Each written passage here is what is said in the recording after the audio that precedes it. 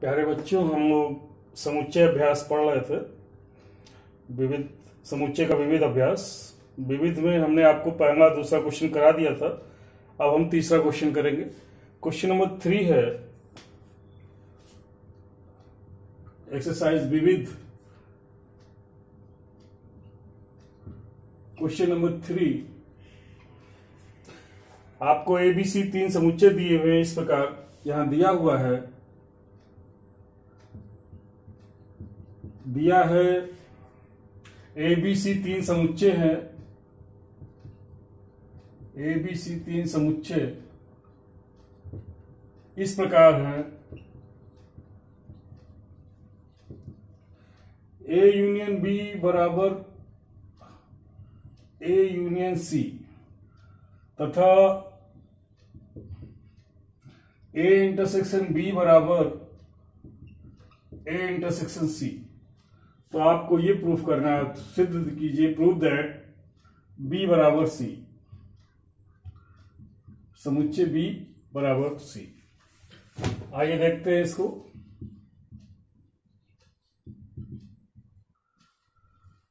आपको दिया हुआ है प्रश्नानुसार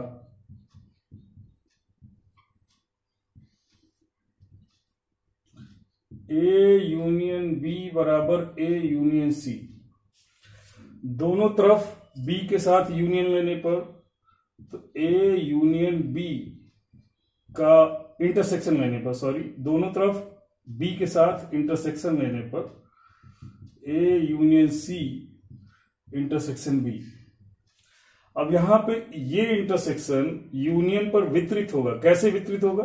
यानी बी का इंटरसेक्शन ए के साथ लेंगे और बी का इंटरसेक्शन बी के साथ। ऐसे ही ये बी का इंटरसेक्शन यूनियन पे कैसे वितरित होगा? ये ए के साथ इंटरसेक्शन होगा, फिर बीच में यूनियन फिर सी के साथ इंटरसेक्शन होगा। तो आइए इसका कैसे वितरित करते हैं? वितरण के नियम से ये हो जाएगा। A intersection B union B intersection B बराबर यहाँ पर वितरण का नियम से ए इंटरसेक्शन बी और यूनियन सी इंटरसेक्शन बी। ये कहाँ से आया? वितरण के नियम से।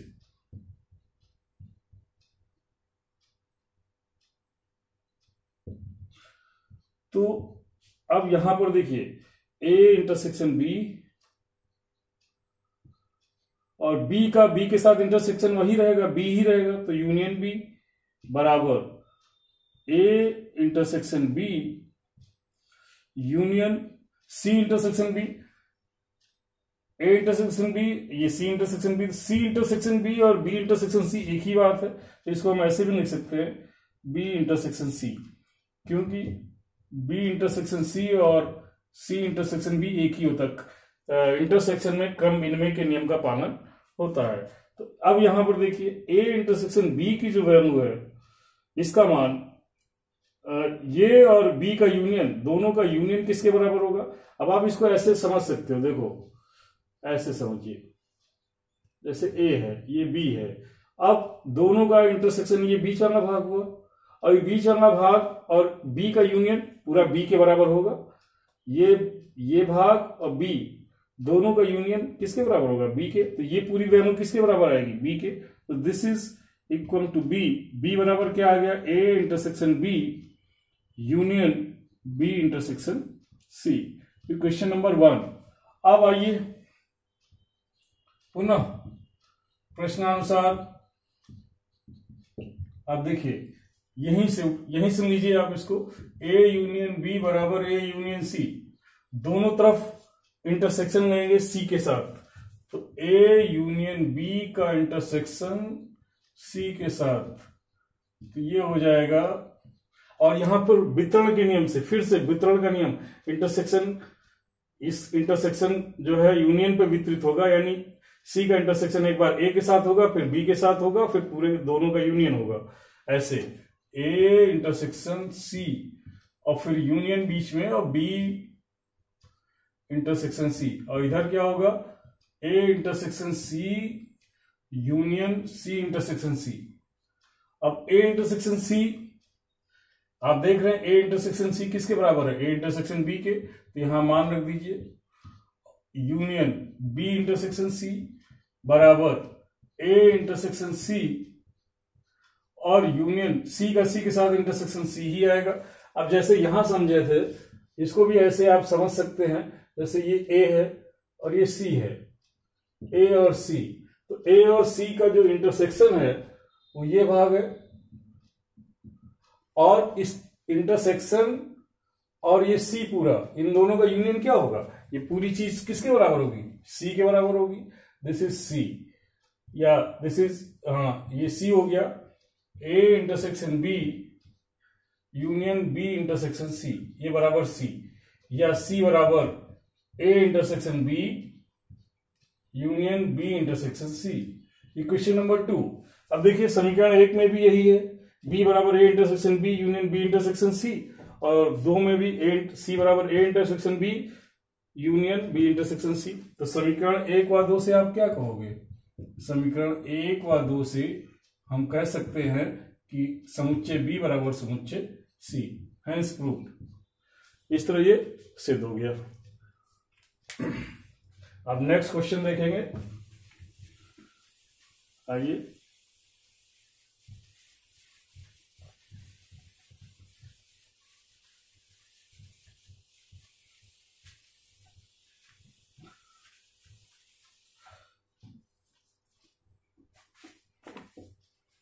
क्वेश्चन नंबर फोर है।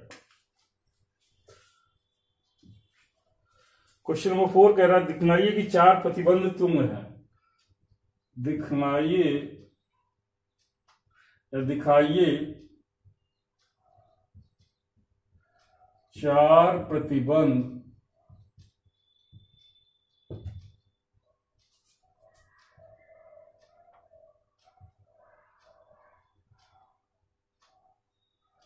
तुम है। कौन कौन से? पहला A is the subset of B दूसरा ए माइनस बी बराबर फाइव तीसरा ए यूनियन बी बराबर बी और चौथा ए इंटरसेक्शन बी बराबर ए आइए देखते हैं इसका सोल्यूशन क्या है? पहला A is the subset of B इसका क्या अर्थ होता है? A is the subset of B का अर्थ होता है कि ए के सारे तत्व बी में हैं। यानी पूरा पूरा ए और बी जो है बी में है। पूरा ए बी में है। ए के सभी एलिमेंट्स बी में हैं। अब यहाँ पर ऐसे लिख देंगे कि ए के सारे तत्व बी में है। मैं इस क्वेश्चन को समझा रहा हूँ, आप खुद ही ऐसे लिख लीजिएगा। ए के सारे तत्व बी में है। इसका ये अर्थ हुआ। अब दूसरे में आइए। यहाँ पर इसका अर्थ है कि कि ए के सभी अवयव सभी अवयव बी में है। और दूसरे में कह रहा है ए माइनस बी बराबर five A minus B A minus B का क्या अर्थ है? ए माइनस बी का अर्थ है कि अर्थ है ए के वो वे अवयव ए के वे अवयव जो बी में ना हो, अर्थात ए के अवयव में से बी के अवयव को घटा दें तो जो बचेगा वो ए का अवयव वही ए माइनस बी होगा। तो यहाँ पर क्या बच रहा है? कुछ भी नहीं बच रहा है घटाने पे। इसका मतलब पूरा पूरा ए बी में है, इसीलिए तो कुछ नहीं बच रहा है। अगर कुछ बी से, अगर इसके सारे अवयव इसमें ना होते तो इसमें कुछ ना कुछ अवयव बचता। तो वे ए के, वे अवयव जो बी में ना हो तो यहाँ पर चूँकि ना हो लिख सकते हैं आप क्या? कि चूँकि ए माइनस बी बराबर फाइव फाइव का मतलब होता है रिक्त समुच्चय। एक भी अवयव नहीं फाइव है। अतः स्पष्ट है, जब घटाने पे सारे अवयव घट गए तो कुछ बचा ही नहीं। तो इसका मतलब स्पष्ट है कि बी के ए के सारे अवयव बी में हैं। ए के सभी अवयव कहाँ है? बी में है। जब ए के सभी अवयव बी में है, तब क्या होगा? अतः A is the proper subset of B अब आइए तीसरा पार्ट समझते हैं। ए यूनियन बी बराबर बी आपको ये दिखाना है, यही, ये चीज़, ये सब चारों का अर्थ एक ही है, ये बताना है। आइए, आपको पता होना चाहिए कि कोई भी समुच्चय, अब ये चीज़, हम जानते हैं, हम जानते हैं A is the subset of A union B A जो है ए यूनियन बी का प्रॉपर सबसेट होगा, क्योंकि यूनियन में सारे ए के सारे होंगे बी के होंगे तो ए के सारे इसमें है ही है, इसका मतलब ये ये होगा। अब ए यूनियन बी किसके बराबर दिया है? ए यूनियन बी इस क्वेश्चन में बी के बराबर दिया है। तो A is the subset of A union B क्यों? चूँकि ए यूनियन बी बराबर किसके है? बी के। तो यहाँ पे सिद्ध हो गया।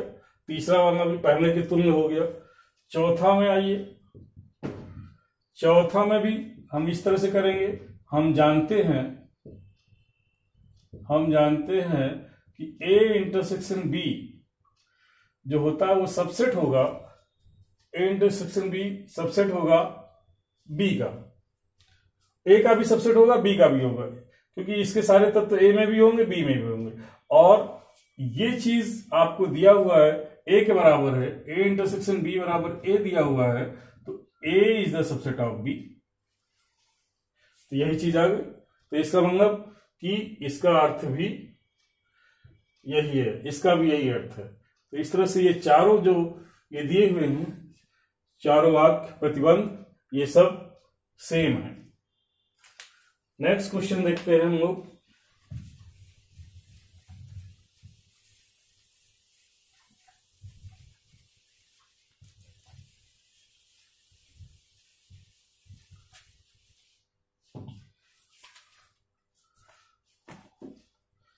पांचवा क्वेश्चन है। प्रूव दैट या पहले आपको दिया है, क्या दिया है? देखिए इधर। दिया है A is the subset of B तो सिद्ध करना है prove that C minus B is the subset of C minus A proper subset of C minus A आइए आपको सिद्ध करना दिखा इसको कैसे सिद्ध करते प्रॉपर सबसेट एक्स इसका कोई एलिमेंट लेंगे और दिखा देंगे, वो इसमें भी है, ये इसका प्रॉपर सबसेट सिद्ध हो जाएगा। आइए, मानते हैं। माना x is the element of C minus B तो अंतर की परिभाषा क्या कहती है?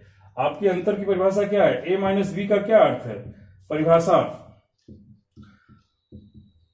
परिभाषा से ए माइनस बी बराबर क्या होता है?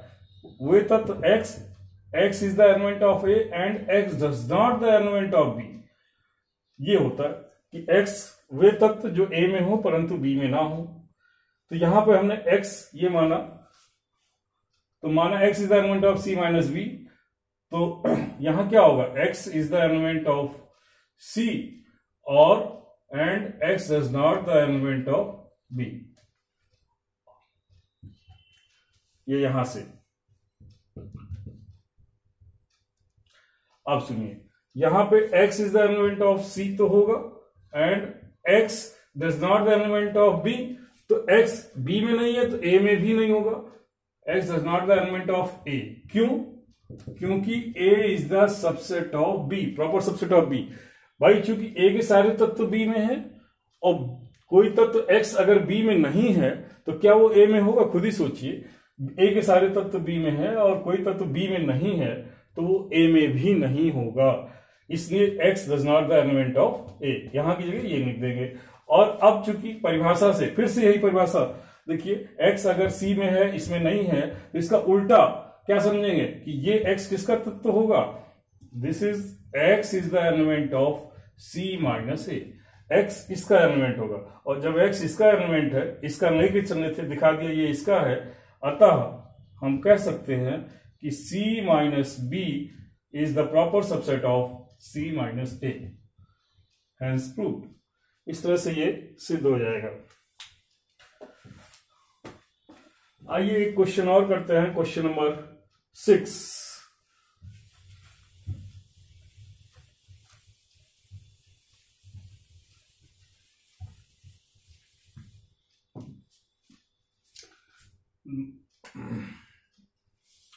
सिक्स में आपको दिया हुआ है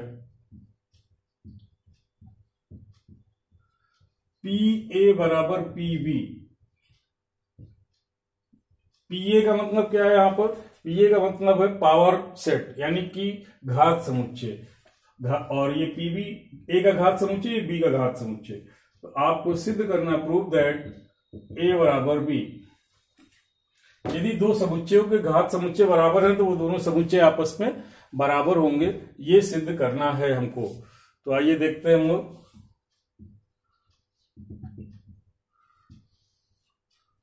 यहाँ पे हम सबसे पहले मानेंगे माना जो है x, जो है x कोई समुच्चय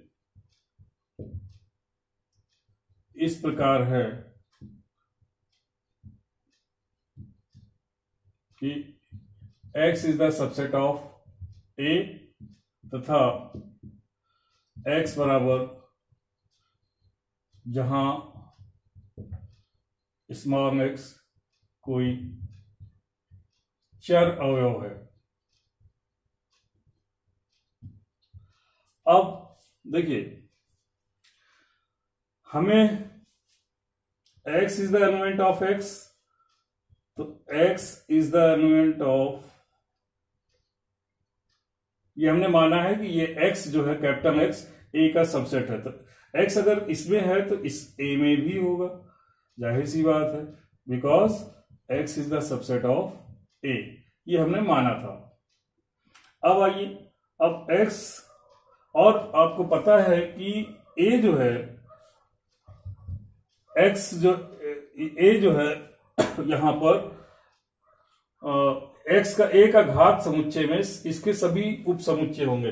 किसी भी समुच्चय का घात समुच्चय क्या होता है? उस समुच्चय के सभी उप समुच्चयों का समुच्चय, उसका घात समुच्चय कहलाता है। तो अब इसके घात समुच्चय में यानी एक्स भी होगा, क्योंकि ये इसका उप समुच्चय है।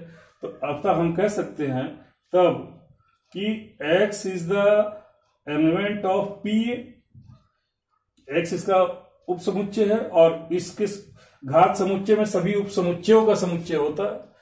तो अब आइए एक्स अगर पी ए है तो एक्स जो है पीबी का भी एलिमेंट होगा। बी के घात समुच्चय का क्यों? क्योंकि पी ए और पीबी आपस में बराबर है। और अगर ये एक्स इसका तत्व है तो इसका मतलब हुआ कि एक्स बी का सबसेट होगा, क्योंकि घात समुच्चय ये इसका एलिमेंट है और इसके एलिमेंट में कौन से तत्व हैं? बी के सभी उप समुच्चय तो यानी इसका अर्थ हुआ कि एक्स भी बी का एक उप समुच्चय होगा।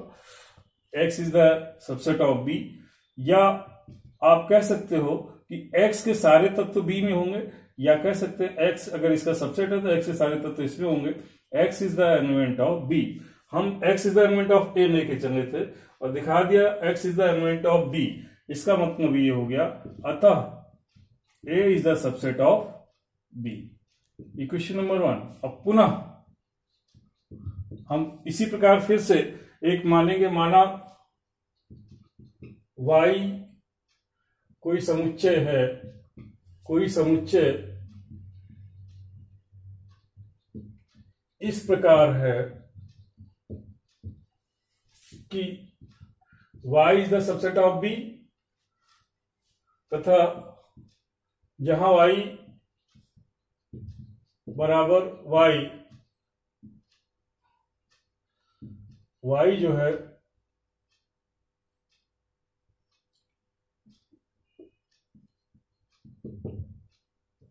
जहाँ y जो है, कोई चर अवयव है। अब देखिए तो यहाँ y is the element of y और तो y is the element of b भी होगा, क्योंकि capital y is the proper subset of b. और जब y b का तत्व है तो इसका अर्थ ये हुआ कि ये जो है, y y is the element of B तब इसका जो उप समुच्चय ये वाई जो होगा capital Y this is the element of P B क्यों? क्योंकि ये जो y है y के इसके सॉरी b के सभी उप समुच्चयों का समुच्चय, घात समुच्चय होता है, और ये इसका एक उप समुच्चय है तो ये इसका एक एलिमेंट होगा। जब इसका होगा तो पी ए का भी होगा। Y is the element of P A क्यों? क्योंकि पी ए बराबर पी बी और जब वाई इस पी ए का एलिमेंट है तो ज़ाहिर सी बात है वाई जो है ए का भी क्या होगा? सबसेट होगा। Y is the subset of A और वाई अगर ए का सबसेट है तो वाई का जो एलिमेंट्स है, वो ए में होंगे। यानी Y is the element of A और y b का एलिमेंट लेके चले थे ए का दिखा दिया। अतः B is the subset of a. Equation two तो समीकरण एक व दो से, समीकरण एक व दो से क्या लिखेंगे? कि a बराबर बी दो समुच्चयों को जब बराबर दिखाना होता है तो उनको एक दूसरे का सबसेट दिखाते हैं। तो ए सबसेट बी दिखा दिया बी सबसेट ए दिखा दिया, अतः ए और बी आपस में बराबर हो गए। तो इस प्रकार यहाँ तक हो गया। शेष नेक्स्ट वीडियो में।